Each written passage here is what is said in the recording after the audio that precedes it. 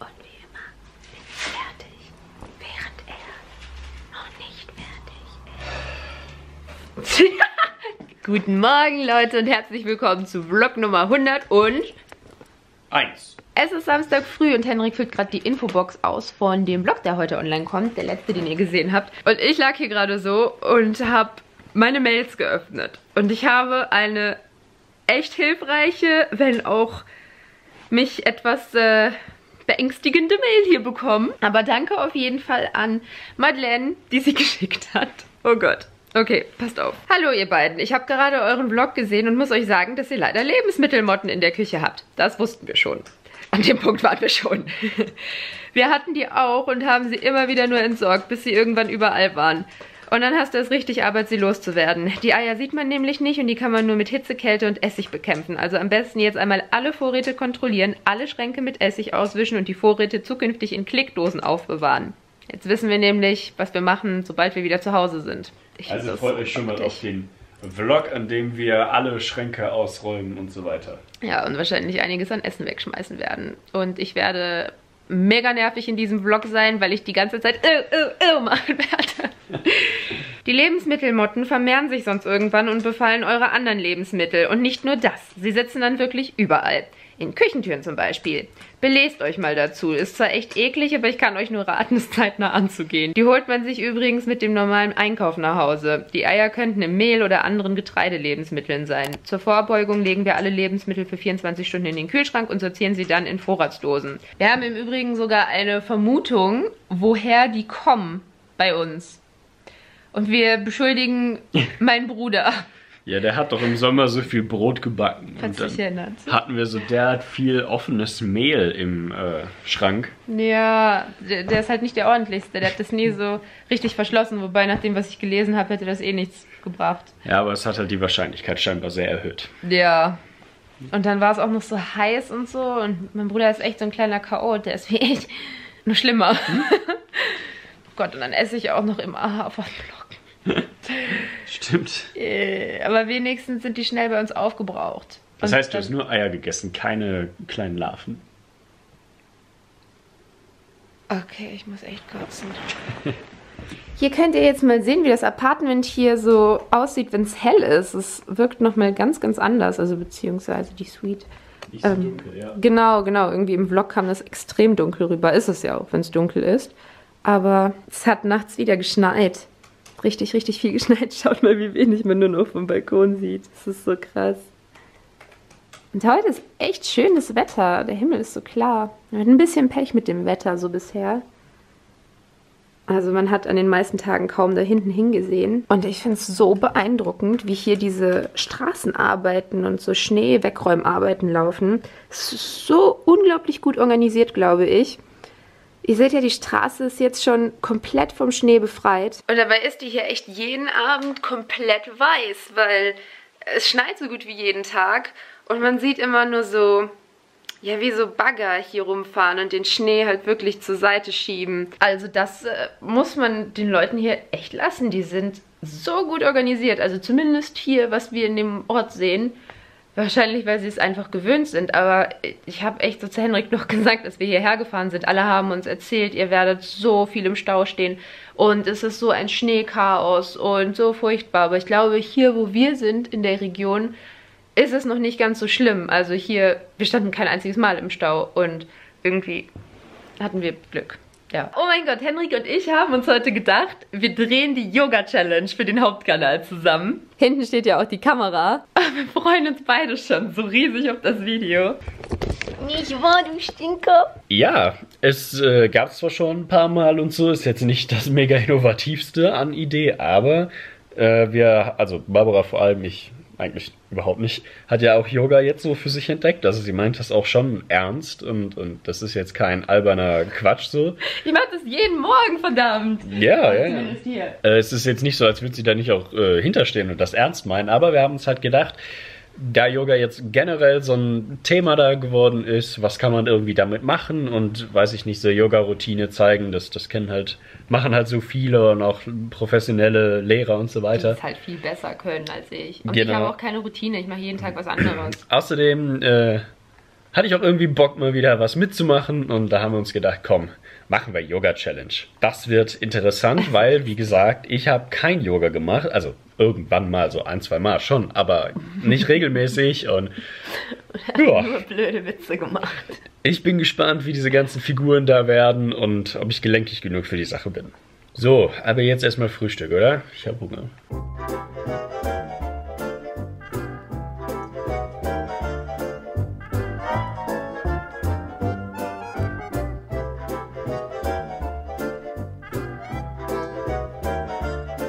Okay.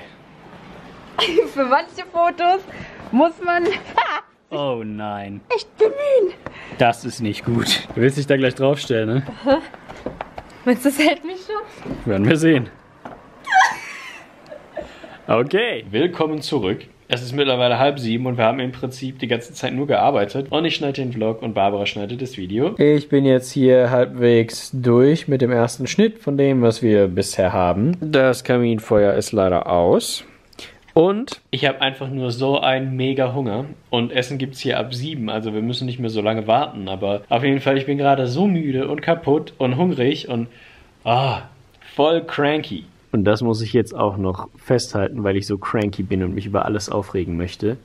Das, da hat Barbara gerade geschnitten, das sind ihre Socken, eine Tasse Tee, irgendeine Lippencreme und eine Tüte Gummibärchen. Dieses absolut süß aussehende kleine Eichhörnchenartige Wesen, das Vorräte sammelt, allerdings meistens Gummibärchen, und fleißig schneidet, hat überall im Zimmer nämlich irgendwelche Sachen gelassen. So ist es nämlich. Das ist so gemein. Ich bin auch voll hangry. Und jetzt gibt's einen Strafzoom. hattest doch schon deine Einfach Eier. so. Hm, sieht gar nicht so schlecht aus, verdammt. Ach so, auf dem Tisch geht's übrigens weiter. Mit Mandarinen, noch mehr leeren Gummibärchen und einem Tee. Wir sind jetzt bereit, essen zu gehen. Wir haben uns umgezogen. Es ist gleich halb acht und weil nichts Spannendes mehr passiert, außer dass wir jetzt was essen, sagen wir euch gute Nacht und bis morgen. Willst du auch Tschüss sagen? Bye. Hey Leute, es ist der nächste Tag. Es hat die ganze Nacht geschneit. Man sieht unseren Balkon fast gar nicht mehr. Es ist so krass und heute haben die vorhergesagt, dass es eigentlich den ganzen Tag durchschneien soll und die ganze Nacht auch. Also, ja. Auf jeden Fall ist unser Frühstück gerade angekommen. Genau, herzlich willkommen zu Frühstück mit Hendrik. Uh. Mm, Pancakes und Omelette und Waffeln und Müsli. Mein Gott, haben die viel gebracht. Obst und Lachs. Ja. Sollten wir schaffen. Es sieht gut aus.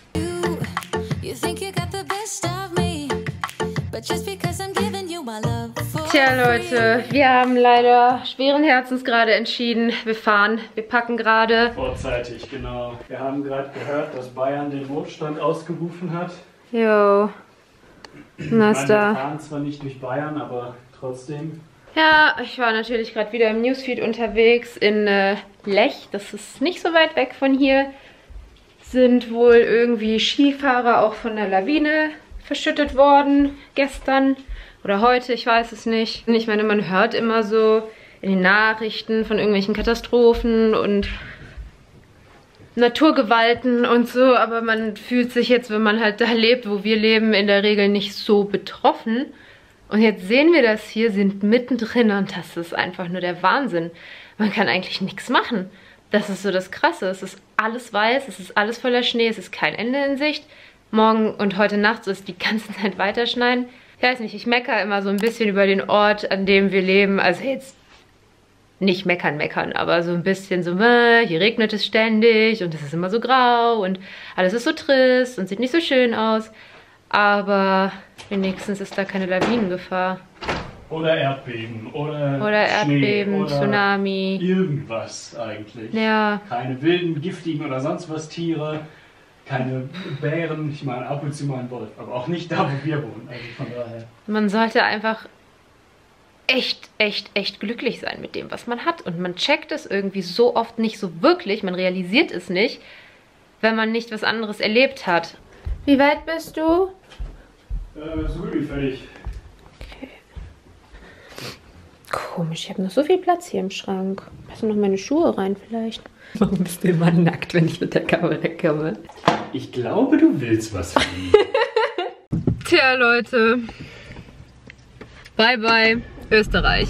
Naja, mal gucken. Ach du Scheiße, ist das viel Schnee. Ach, aber das Krass. Auto fährt sich sehr sicher auch auf Schnee, weil der Allradantrieb hat. Ja, das ist natürlich das, ist Das natürlich merkt das richtig, Praktische an einem SUV. Auch wenn wir richtig. kleinen Schnurrt wie ein. Kätzchen, wie man so sagt.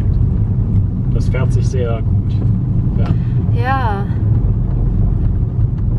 Für uns tatsächlich, da wir häufiger mal so in die Berge fahren, hat sich das echt gelohnt.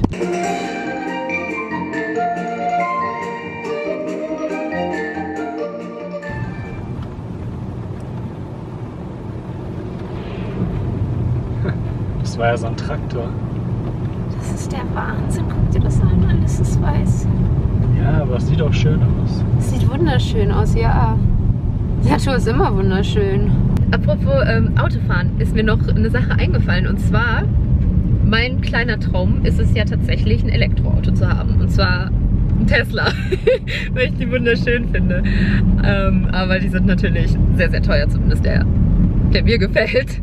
Deswegen fahren wir jetzt erst halt mal hier mit dem rum, weil die anderen Elektroautos halt noch nicht so die Reichweite haben, die ich mir vorstelle. Mit einem Tesla kommt man halt echt irgendwie 600 Kilometer oder sowas aus, Hm, ja, glaube ich.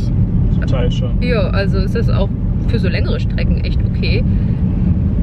Tesla-Autos können nicht umkippen, im Gegensatz zu SUVs. Das liegt daran, dass der, der Akku, das Aggregat, im Boden vom Fahrzeug ist. Ja. Dadurch ist der Schwerpunkt so niedrig, dass die Wagen nicht kippen können. Cool. Und die haben auch äh, entsprechend keinen Motor und vorne und hinten im Kofferraum. Und ich finde die echt schön. Ich finde vor allem, die sehen aus wie normale Autos.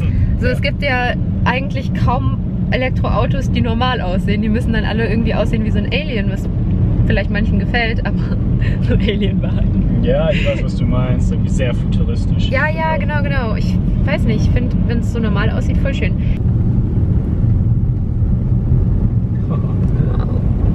Hat der viel Schnee geladen. So, das ist natürlich wieder mal ein Übergang vom Feinsten. Wir sind seit guten vier Stunden oder so, nee, länger sogar, fünf glaube ich, auf der Autobahn unterwegs. Und jetzt sitzen wir an einer Raststätte Ja. und essen was. Genau, vom Fünf-Gänge-Abendessen zur Raststätte essen. Aber wir haben gerade festgestellt, das hat einen schlechteren Ruf, als es jetzt in Wirklichkeit ist. Nein, Pommes sind der Wahnsinn. Ich hätte voll Bock. Ja, und die sind auch ganz frisch. Aber ich muss sagen, die Fahrt ist so unglaublich anstrengend heute. Es ist halt mega schlechtes Wetter und äh, super viel Verkehr. Und man kommt einfach nicht voran. Und es ist dunkel und anstrengend zu fahren und bla. Naja. Ich glaube, es wird Zeit für Kaffee. Ja, meine Tankstellenkatze gefunden. Die will bestimmt was schnorren. Ja, natürlich.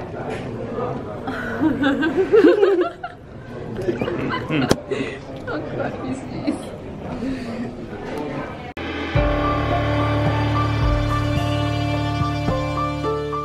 Boah, wir sind zu Hause und wie man mir vielleicht ansieht, es war echt keine gute Fahrt.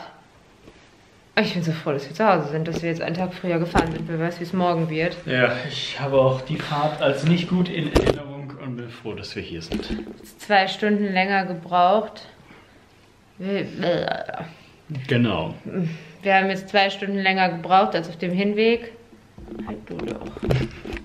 Ich bin zufrieden. Du hast nur unsere Münder gefilmt. Hm. Ja.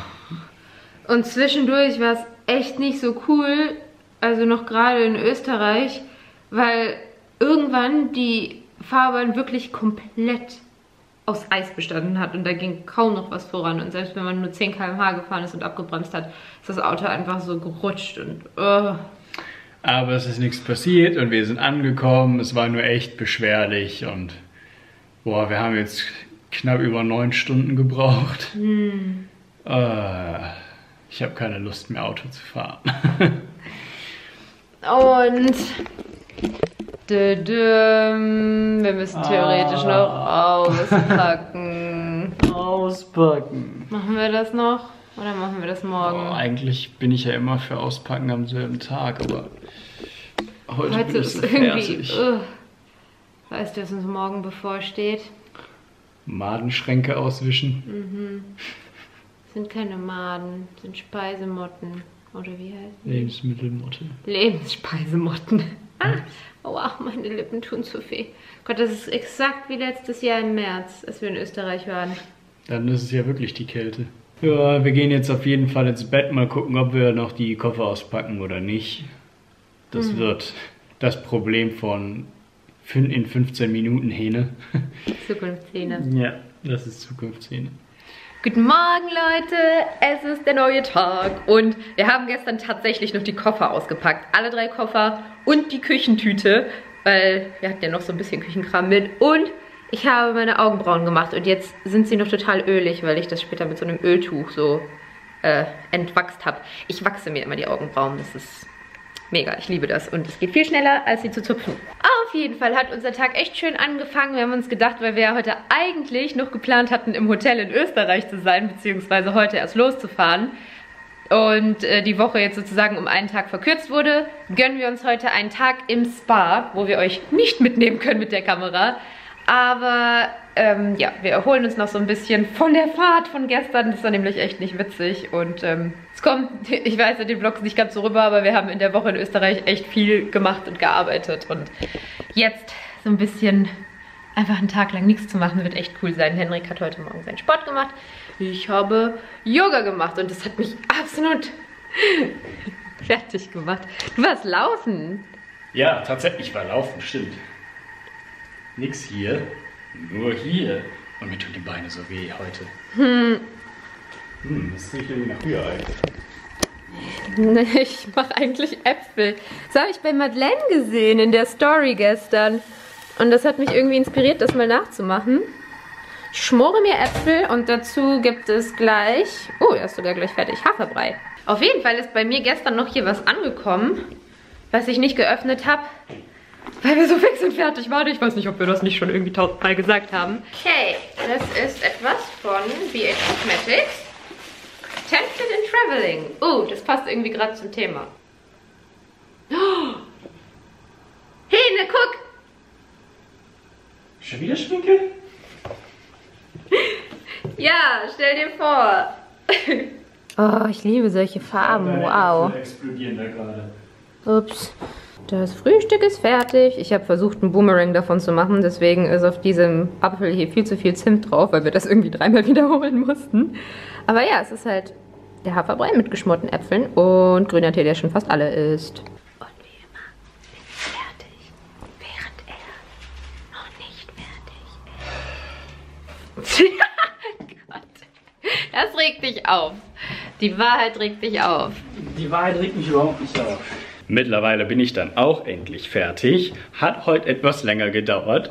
Zugegeben, war aber nur eine Ausnahme. Ich hatte irgendwie noch die Tasche zu packen und ich wollte das Wasser da reintun für die Sauna, aber es hat nicht gepasst. Dann habe ich erst wieder was rausgeräumt, was anderes, dann habe ich was wieder reingeräumt. Das, dann ging der Reißverschluss nicht zu, dann habe ich das Wasser wieder rausgenommen.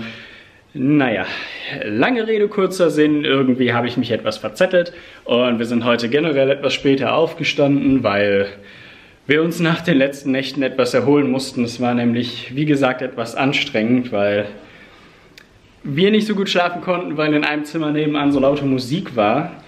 Aber jetzt bin ich fertig, hab meine Sachen an und bin bereit loszufahren. Du auch? Ich war doch schon vorher fertig. Ja, ja, ich hab's gerade zugegeben. Wir haben uns Partnermassagen gebucht. Wie cool ist das? Das ist mega cool. Und ich freue mich sehr darauf und auf den ganzen Tag. So, und jetzt sehen wir uns erst morgen wieder. Bye!